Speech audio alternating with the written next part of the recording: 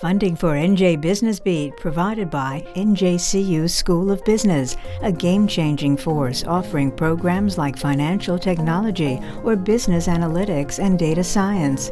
We're steps away from the Exchange Place PATH train in Jersey City and minutes from Wall Street. Learn more at njcu.edu/slash gamechanger. This week on NJ Business Beat, New Jersey's path forward following the election night drama. Business leaders weigh in on the tight gubernatorial race and Governor Murphy's win. Plus, new federal rules for private businesses. The Biden administration details its nationwide vaccine mandate for companies. And we put the job market in focus, looking at how New Jersey's workforce is changing from companies no longer demanding college degree requirements to workers using their newfound leverage to find better jobs. That's straight ahead on NJ Business Beat.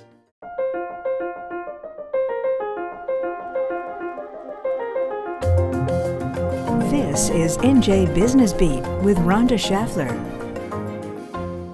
Hello, I'm Rhonda Schaffler. Thanks for joining us on NJ Business Beat. If you're watching on YouTube, make sure you subscribe to our NJ Spotlight News YouTube channel to get alerted when we post new episodes and clips.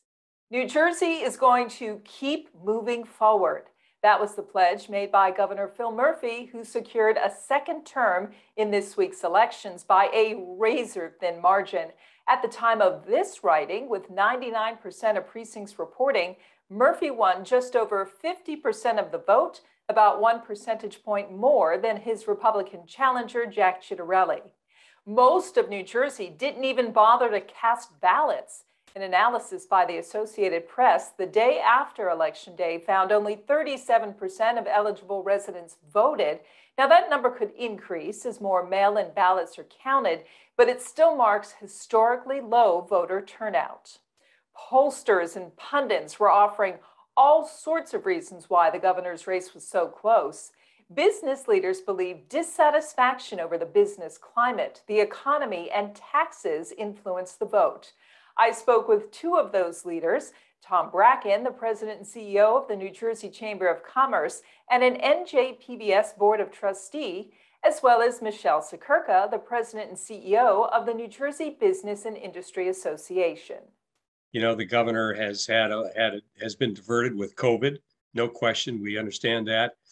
But i think there still could have been a little more balance between uh, handling the economic crisis and the medical crisis. Uh, but uh, when you you have so many businesses that have closed so many restaurants that have closed so many people out of work companies struggling to recover i think definitely that plays a role. I just think, you know, from the business perspective, business absolutely feels, you know, taken advantage of. As you know, New Jersey was shut down the longest in the entire nation. Definitions of essential and non essential that impacted businesses for months and months and months. You know, business is just hanging on right now, Rhonda. The business of sports betting has been doing very well in New Jersey, but it was dealt an election day setback. A ballot question asked whether sports betting should be expanded in the state to include all college sporting events, including those involving New Jersey teams. Voters nixed the idea, with most of the precincts reporting more than 57% voted against the question and only 43% voted yes. Millions of workers must be fully vaccinated against COVID 19 by January 4th or undergo weekly tests for COVID exposure under new rules from the Biden administration. In September, President Biden mandated vaccinations for workers of private companies with more than 100 employees, but details on how this would work were just released this past week. According to the new rules, unvaccinated workers must start wearing masks by December 5th and provide negative COVID tests each week ahead of that January 4th date. Anyone who tests positive cannot go to work.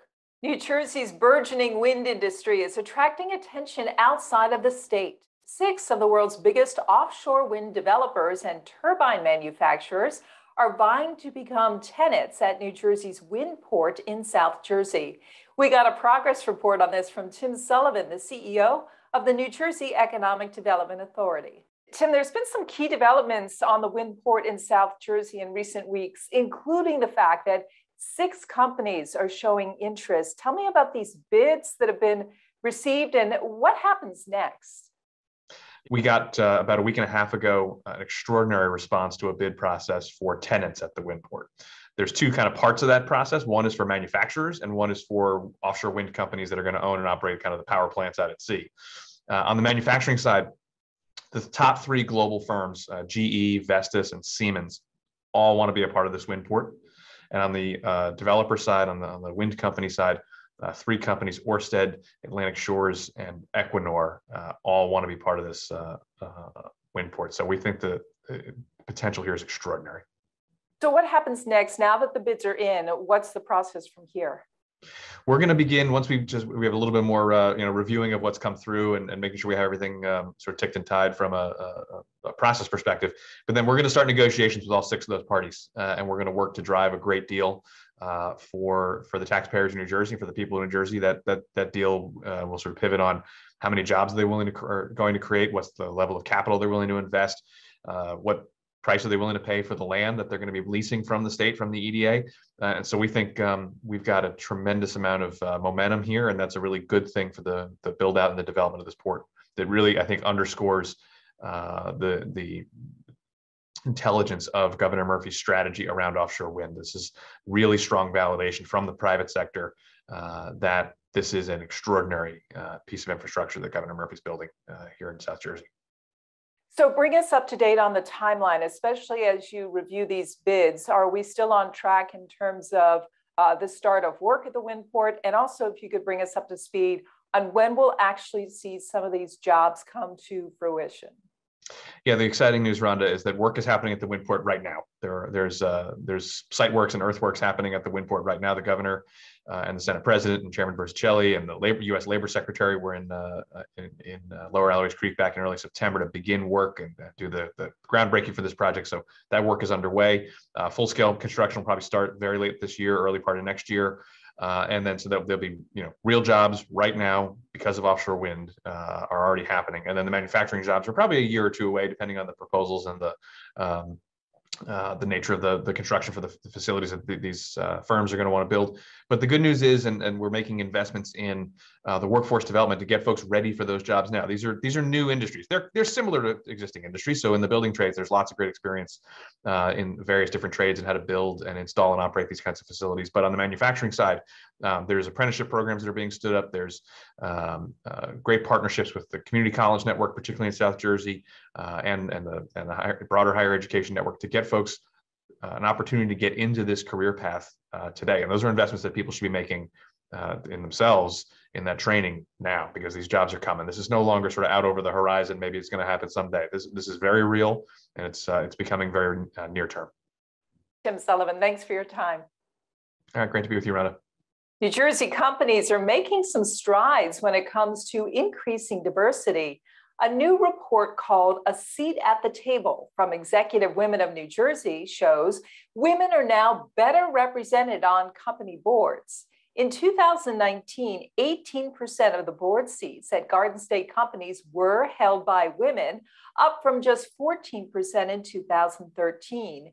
And the number of companies without any women on their boards decreased to just 16%, down from 30%.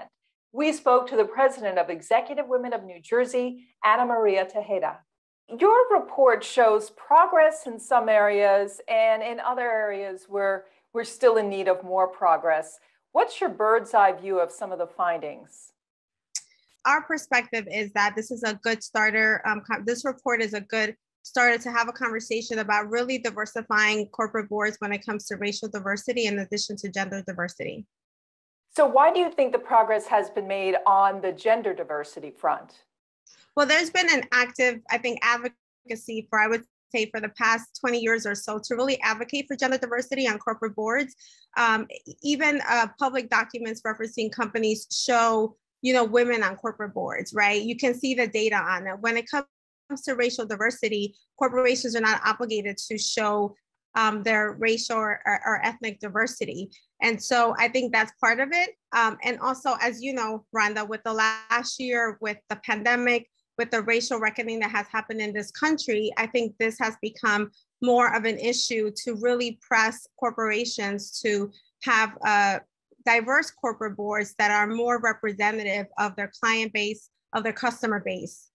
How can you help boards achieve this goal? I mean, certainly you look around at a place like New Jersey, which is such a diverse state.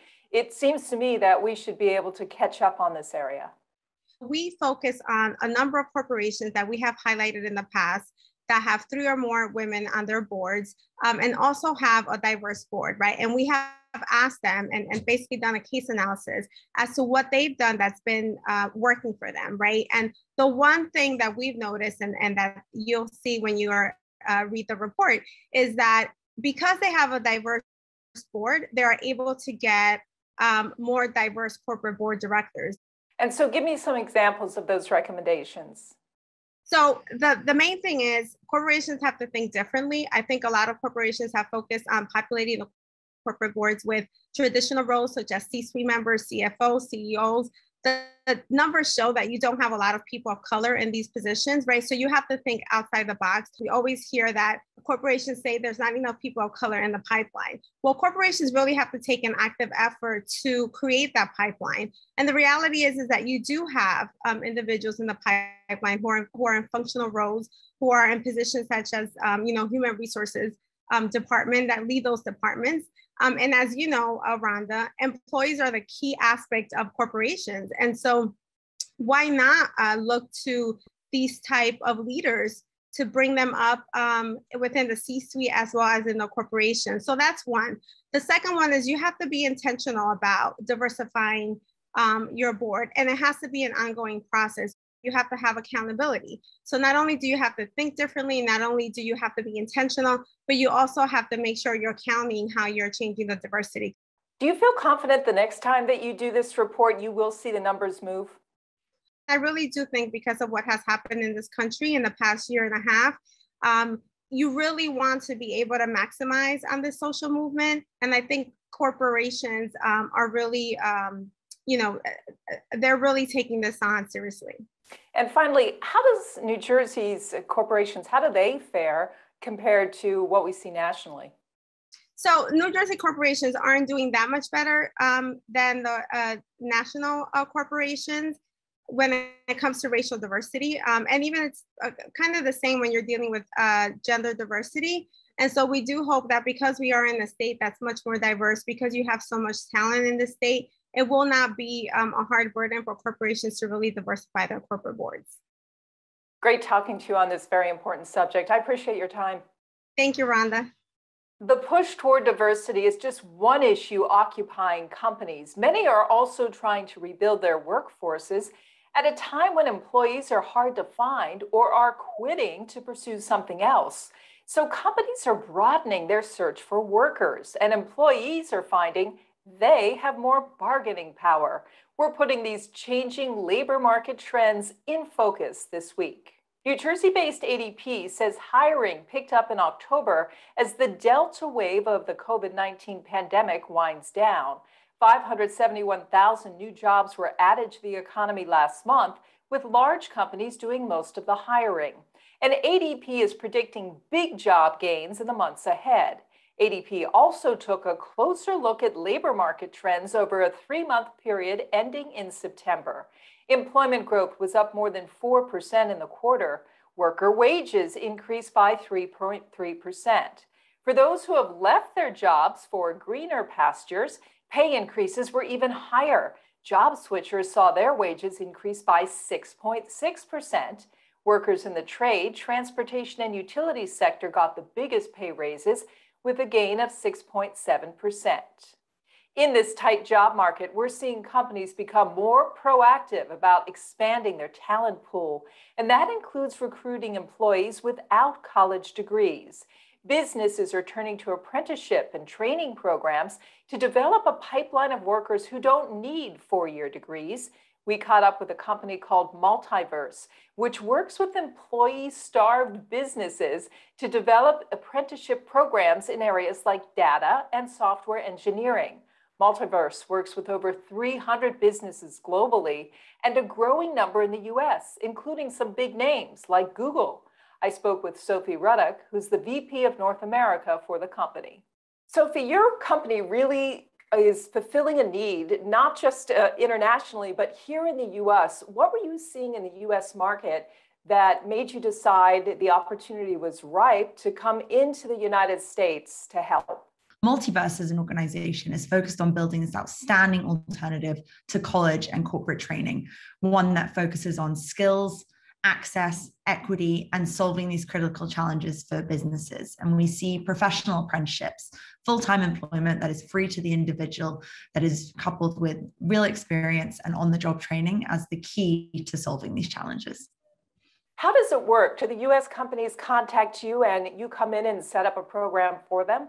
Um, a large majority of Fortune 1000 companies, as well as fast growing small and medium sized businesses, have all started to acknowledge that they want to do something differently. And in doing so, that means finding a new talent pipeline and a way of training these individuals up on the job. And so we'll come to them or they'll come to us and work with them to really think how an apprenticeship program can solve some of their key business challenges. People have heard for quite some time that if you go to college, you have the ability to make a higher salary. Is that being turned on its head right now? It's completely being turned on its head. I think the average salary for a college graduate right now is around $50,000. And that doesn't take into account the sometimes up to hundreds of thousands of dollars of debt that someone takes on. We see our apprentices, their starting salary be between $50 and $70,000. And that's when they start at the ages of 18 to 24 without a four year college degree. And then we see sort of upon completing, over 90% of them take on new roles within their companies, have pay rises, or have increased um, responsibilities. So we're seeing not only you're not taking on debt, but actually that path to progression is that much quicker when you go down these new routes. And you mentioned diversity at the beginning of our conversation together. How is this helping to solve diversity challenges in the workplace? So, we really believe in widening the gate, but not lowering the bar. We are not saying to businesses that they should compromise on quality. What we are saying is that there are incredible um, individuals that you wouldn't be meeting because degree requirements are screening out two thirds of Black Americans and three quarters of Hispanic Americans. So we find high potential individuals um, by partnering with communities, partnering with schools, partnering with colleges, having very creative marketing campaigns through TikTok and Instagram and Snapchat. Um, and then really assessing for potential. So we look at assessing for grit, not grades, so that we're able to find a really high potential talent pipeline for our employers. And then once they're on the roll, we're then with them for the next 18 months, training them up in hard, soft, and durable skills. And what I mean by that is the hard skills are the technical skills that every employer is craving. And the durable skills are the skills that really differentiate our apprentices and really what makes someone successful. And those are leadership, managing up, communication, negotiation. And um, it's really that that helps our apprentices to then progress in the workplace once they're in. Sophie, it's been great talking to you. Thank you. Thank you, Rhonda. Find out more about apprenticeship programs. I talked with Andrew Cascino. He left college for hands on training at the offices of Chubb in Jersey City. Andrew, tell me about yourself. How did you find your way into an apprenticeship program? Uh, I found my way into apprenticeship program through uh, another program I was doing that I had a mentor and through there after graduating it i was given opportunity uh, to go to multiverse and through multiverse uh, i found chubb and it wasn't particularly the field i was studying prior um, i was more in cybersecurity uh, trying to be like a network analyst but instead uh, this was geared towards a data analyst, part of the Internet of Things team at Chubb. So I went for it because uh, opportunity like that doesn't really come to anyone that's not in college, and um, I just jumped for it, and it's been a great experience. What was your educational background before moving into apprenticeship? Um, well, it was uh, I was two years into college, so I was in, uh, a sophomore at uh, John Jay, uh, and I was majoring in uh, cybersecurity and uh, informational technology. And through financial reasons, I wasn't able to continue but I still wanted to pursue my dream uh, in the technology space. So I kept looking and I just came across these programs that led me to uh, Multiverse. And how long will your training last at Multiverse? When do you anticipate getting out there in the workforce? Uh, well, it's gonna last until March, uh, so it's like a full year. Uh, so that's really good to put on your resume. And what I'm gonna do afterwards is uh, I'm gonna seek um, all the connections I made at Chubb and Multiverse and see where that could lead me. At this point, you've decided that you don't really need college, that you can pursue another avenue. Why did it make sense to you? Uh, it made sense to me because I'm uh, I'm a person that's more hands-on. So I really wanted to just get into the field and get dirty. And uh, in my mind, what corporate America was through like TV and movies is this like really stressful, uh, hardworking, and really like cutthroat type of uh, field. Um, but it's really not.